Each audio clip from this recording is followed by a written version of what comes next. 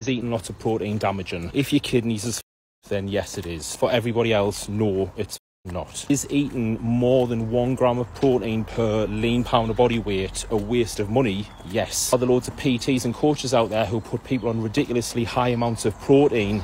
Yes. Are they un- uneducated and stupid? Yes. The will the cars off? I'm trying to make a video. Any excess protein that your body doesn't use, it'll just out. If it doesn't it out, then it'll go through a process called gluconeogenesis, which converts protein into carbohydrates. But it's a really form of carbs, so you may as well have just ate carbs instead. Yes, I know about the thermic effect of food, which will some Jeffrey will mention in the comments. Say you have like 30, 40 grams of protein additional a day or instead of the carbohydrates. Calories that you would save in TEF is like probably 40, 50 calories. Is that going to make or break your fat loss journey? Is it are you going to miss out on vital vitamins and minerals because you're substituting carbs for protein, thinking that it's going to make you lose fat more? Yes, damn right you are. Honestly, any woman on over 130, 140 grams of protein, you're wasting your time.